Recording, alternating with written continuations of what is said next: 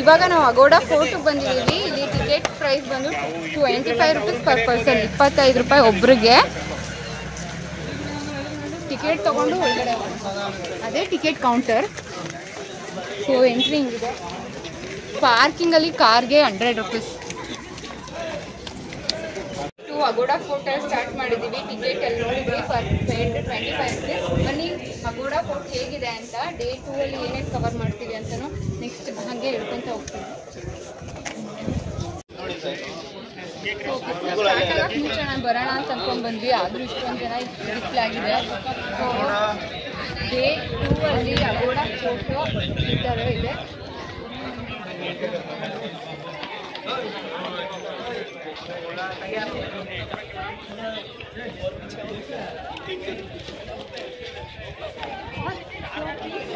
Upper fort Aguada so fort ಈ ಥರ ಇದೆ ಅಂತ ಹೇಳಿ ನಾವು ಮ್ಯಾಪ್ ನೋಡ್ಬೋದು.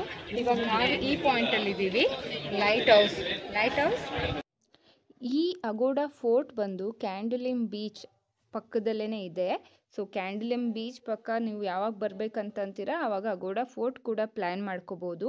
ಹಾಗೆ ಈ ಅಗೋಡಾ ಫೋರ್ಟ್ ಬಂದು ಮಾಂಡೋವಿ ರಿವರ್ ಅದೇ ಏನು ಮಾಂಡೋವಿ ನದಿ ಏನು ಹರಿಯುತ್ತಲ್ಲ, ಅದು ಮತ್ತು ಕ್ಯಾಂಡಲಿಮ್ ಬೀಚ್ ಅಗೋಡಾ ಫೋರ್ಟ್ ಹಾಗೂ ಇದು ಡಾಲ್ಫಿನ್ ವ್ಯೂ ಪಾಯಿಂಟ್ ಹಾಗೆ ಇಲ್ಲಿ ಅಗೋಡಾ ಜೇಲ್ ಇದೆಲ್ಲನೂ ಕೂಡ ಒಂದೇ ಪಾಯಿಂಟಲ್ಲಿ ಇರುತ್ತೆ ನೀವು ಪ್ಲ್ಯಾನ್ ಮಾಡಿ ಬರಬೇಕು, ಇದಿಷ್ಟು ಪ್ಲೇಸ್ ಕವರ್ ಮಾಡ್ಬೋದು. ಇಲ್ಲಿ ನಾವು ನೋಡ್ತಿದ್ದೀವಲ್ಲ ಇದು ಸಿಹಿ ನೀರಿನ ಕಲೆಕ್ಷನ್ ಮಾಡ್ಕೋತಾ ಇದ್ರಂತೆ. ಆವಾಗಿನ ಟೈಮಲ್ಲಿ ಯುರೋಪಿಂದ ಏನಾದರೂ ಸಾಮಗ್ರಿಗಳು, ಯುದ್ಧದ್ದು ಟೈಮಲ್ಲೋ ಯಾವಾಗಲಾದ್ರೂ ಏನೋ ಟ್ರಾನ್ಸ್ಪೋರ್ಟೇಷನ್ ಮುಂಚೆ ಶಿಪ್ಪಲ್ಲೇ ಏನು ಟ್ರಾನ್ಸ್ಪೋರ್ಟೇಷನ್ ಸಿಸ್ಟಮ್ ನಡೀತಾ ಇತ್ತು.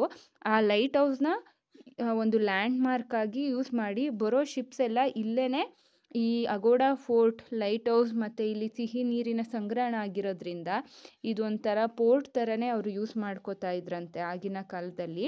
ಹಾಗೆ ಯುದ್ಧ ಸಮಯದಲ್ಲಿ ಇಲ್ಲಿ ನೀರು ನೀರನ್ನ ಸಂಗ್ರಹಣ ಮಾಡೋಕ್ಕಾಗ್ತಾ ಇತ್ತು. ಆಮೇಲೆ ಬೇರೆ ಶಿಪ್ ಅವ್ರು ಬರೋದಕ್ಕೆ ನೀರು ಅವ್ರ ಶಿಪ್ಗೆ ತುಂಬಿಸೋದಕ್ಕೆ, ಅವರು ಹಡಗುಗಳಿಗೆ ತುಂಬಿಸ್ಕೊಳ್ಳೋದಕ್ಕೂ ಕೂಡ ಇದನ್ನು ಯೂಸ್ ಮಾಡ್ತಾಯಿದ್ರು ಹಾಗೆ ಅಲ್ಲಿ ನಾವು ನೋಡ್ತೀವಿ, ಅಲ್ಲಿ ಎಂಟ್ರೆನ್ಸ್ ಥರ ಇದೆಯಲ್ಲ.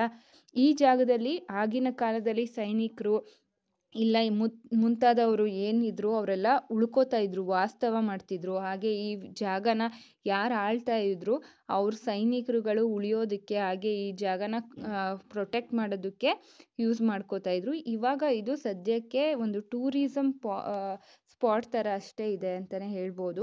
ಈ ಲೈಟ್ ಹೌಸು ಮತ್ತು ಆ ಸ್ಟೋರೇಜ್ ನೀರಿನ ಸಂಗ್ರಹ ಏನು ಮಾಡ್ತಾಯಿದ್ರು ಅದೊಂಥರ ಡ್ಯಾಮ್ ಥರನೇ ಯೂಸ್ ಮಾಡಿಕೊಂಡು ಒಳ್ಳೆ ಪ್ಲೇಸಲ್ಲಿ ಅವರು ನೀರಿನ ಸಂಗ್ರಹ ಮಾಡೋದಕ್ಕೆ ಯೂಸ್ ಮಾಡಿದ್ದಾರೆ. ಹಾಗೆ ಈ ಕೋ ನಾವೇನು ಈ ಫೋರ್ಟ್ ಇದೆ, ಇದ್ರ ಪಕ್ಕ ಅಗೋಡಾ ಸೆಂಟ್ರಲ್ ಜೈಲ್ ಕೂಡ ಇದೆ.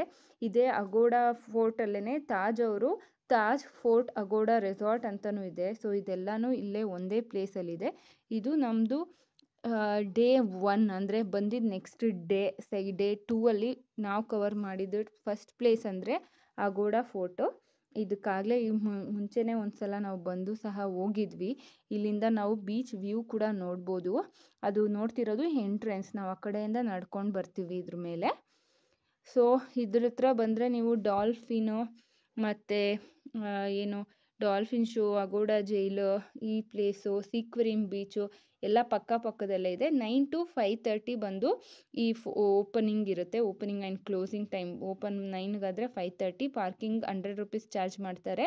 ಆ್ಯಂಡ್ ಒಂದೇ ದಿನದಲ್ಲಿ ಇದಿಷ್ಟು ಪ್ಲೇಸ್ನ ಅಗೋಡಾ ಫೋರ್ಟ್ ಆದಮೇಲೆ ನಾವು ನೆಕ್ಸ್ಟು ಸೀಕ್ವರಿಮ್ ಬೀಚ್ಗೆ ಹೋಗ್ತೀವಿ. ಅಲ್ಲಿ ಸೀಕ್ವರಿಮಲ್ಲೂ ಕೂಡ ಒಂದು ಫೋರ್ಟ್ ಇರುತ್ತೆ. ಕಾರ್ ಪಾರ್ಕಿಂಗಿಗೆ ಹಂಡ್ರೆಡ್ ರುಪೀಸ್ ಚಾರ್ಜ್ ಮಾಡ್ತಾರೆ.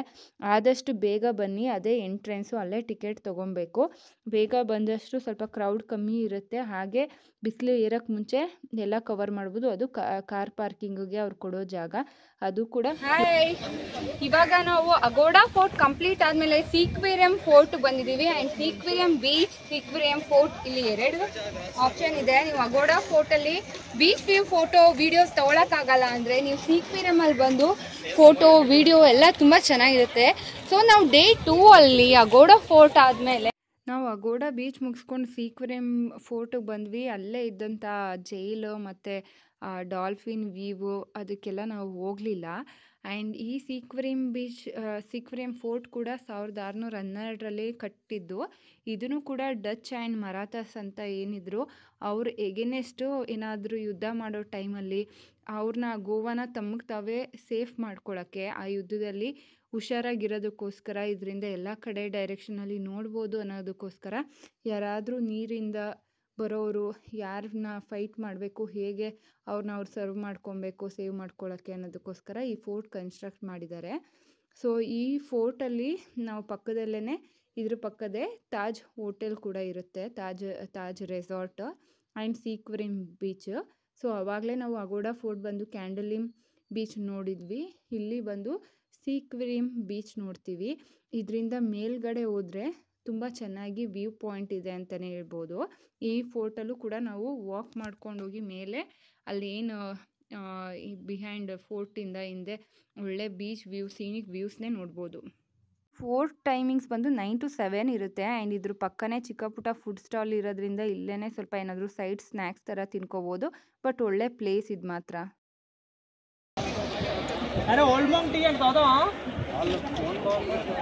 ದಿಲೀಪ್ ದಿಲೀಪ್ ಓಲ್ಡ್ ಮಾಂಗ್ ಟೀ ಅಂತ ತಾತವಾ ಓಲ್ಡ್ ಮಾಂಗ್ ಸೊ ಇಲ್ಲಿಂದ ಅಲ್ಲಿಗೆ ಹೋಗ್ಬೇಕಲ್ಲ ಇವಾಗ?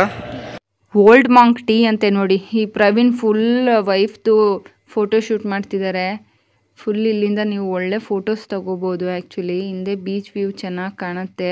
ಆ್ಯಂಡ್ ಅದ್ರ ಹತ್ರ ಹೋಗಿ ಆರಾಮಾಗಿ ನೆರಳಿದೆ. ಅಲ್ಲಿ ಕುತ್ಕೊಂಡು ಫೋರ್ಟ್ಗೆ ಹತ್ರ ಅದ್ರ ಮೇಲೆ ಹತ್ತಿ ಕುತ್ಕೊಂಡು ನಮಗೆ ನಾವೇ ರಿಲ್ಯಾಕ್ಸ್ ಮಾಡ್ಕೊಬೋದು. ಅಷ್ಟು ಚೆನ್ನಾಗಿದೆ ಆ ಪ್ಲೇಸು ಸೊ ಅಲ್ಲಿ ಮರಗಳಿರೋದ್ರಿಂದ ತಣ್ಣಗೂ ಕೂಡ ಆಗುತ್ತೆ. ಈ ಬೀಚ್ ನೋಡ್ತಾ ಇದ್ರೆ ಸಪ್ತ ಸಾಗರ ದಾಚೆಯಲ್ಲೋ. ಇದೆಲ್ಲ ಇದೆಲ್ಲ ಅದು. ಸಪ್ತ ಸಾಗರದಾಚೆಯಲ್ಲೋ ಎರಡು ಸಾಂಗು ಅಲ್ಟಿಮೇಟ್ಸ್ ಅಂತ ಅನ್ಸುತ್ತೆ ಈ ಪ್ಲೇಸಲ್ಲಿದ್ದ ಸೊ ನಾವೇನಾದರೂ ಆಟ ಆಡೋದಿದ್ರೆ ಇಲ್ಲಿ ನಾವು ನೋಡ್ತಾ ಇದ್ದೀವಿ. ಕ್ಯಾಂಡಲಿಮ್ ಬೀಚಲ್ಲಿ ಬಂದು ಆಡಿದರೆ ತುಂಬಾ ಚೆನ್ನಾಗಿರುತ್ತೆ. ಆ ಕಡೆ ಇರೋದಲ್ಲ ಕ್ಯಾಂಡಲಿಮ್ ಬೀಚು ಹಾಂ ಹೌದು. ಮೇಲ್ಗಡೆಯಿಂದ. ಆ ಬೀಚಲ್ಲಿ ಸೀಕ್ವೆರಿಯಂ ಫೋರ್ಟಲ್ಲಿ ಯಾವುದೇ ತರದ್ದು ಚಾರ್ಜಸ್ ಮಾಡಲ್ಲ. ಇದು free of cost but but ಪಾರ್ಕಿಂಗ್ಗೆ hundred rupees ಪಾರ್ಕಿಂಗ್ಗೆ ಹಂಡ್ರೆಡ್ ರುಪೀಸ್ ಎಲ್ಲ ಕಡೆ ಬಟ್ ಫೆಸಿಲಿಟೀಸ್ ಏನು ಇರೋದಿಲ್ಲ. ಆದ್ರೂ ಏನಿಲ್ಲ. ಆದ್ರೂ ರೋಡಲ್ಲೇ ಕಾರ್ ಪಾರ್ಕ್ ಮಾಡಿ ಬಂದಿದ್ರು ಹಾ ಏನಿಲ್ಲ. ಸೊ ಇದು ಸೀಕ್ವರಿಯಂ ಅದು ನಾವು ನೋಡ್ತಿರೋದು ಒಂದು ಫೋರ್ಟ್ ಆದ್ರೆ ಈ ಕಡೆನೂ ಒಂದು ಫೋರ್ಟ್ ಇದೆ. ಅದು ನೋಡೋಣ ಅಂತ ಹೋಗ್ತಾ ಇದೀವಿ.